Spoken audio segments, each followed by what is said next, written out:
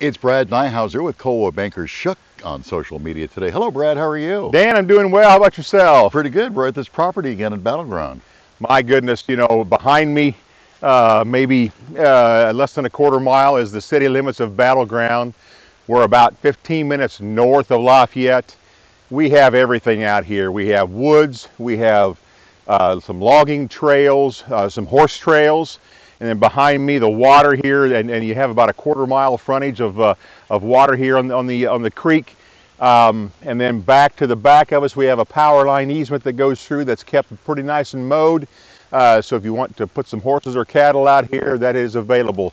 Dan, there's everything out here. It's 77 acres. Jeez, that is amazing. It is amazing. So what do you think a buyer of this property will do with it?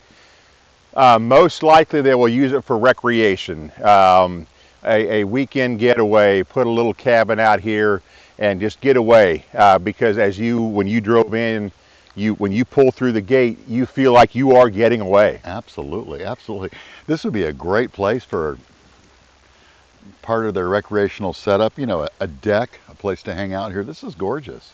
It is gorgeous out here. We are offering this property for sale at a real estate auction sometime in August. Mm -hmm. More information to come in the next two or three weeks. All right. This is this is this is amazing. It is amazing. All right. We'll keep tabs on it. We will. Thank you, Dan. Thanks for watching.